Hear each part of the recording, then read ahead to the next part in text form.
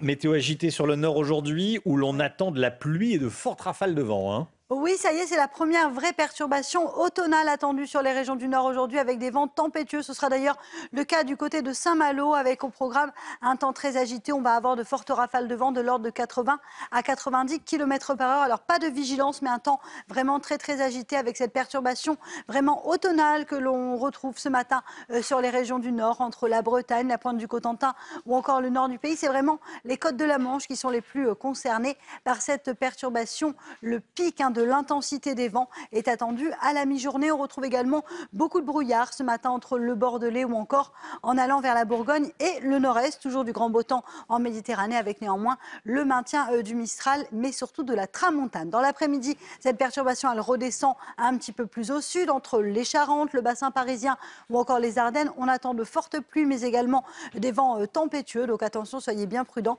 Sur le nord, conditions météo vraiment très agitées aujourd'hui. Et puis dans le sud, du beau temps avec toujours un petit peu de vent. Les températures ce matin plutôt douces grâce aux nuages. 11 degrés à Paris, 9 degrés à Toulouse ou encore 6 degrés en Bourgogne. Et dans l'après-midi, les températures restent largement en dessous des normales de saison. Ça va plafonner près des côtes de la Manche avec en moyenne 14 à 15 degrés seulement. Vous aurez 20 degrés à Toulouse, 18 degrés en moyenne pour le Lyonnais. Température donc un petit peu fraîche et tout de même 25 degrés à Ajaccio. La suite du programme défilé de perturbations euh, cette semaine avec beaucoup de vent, de la pluie et des températures automnales.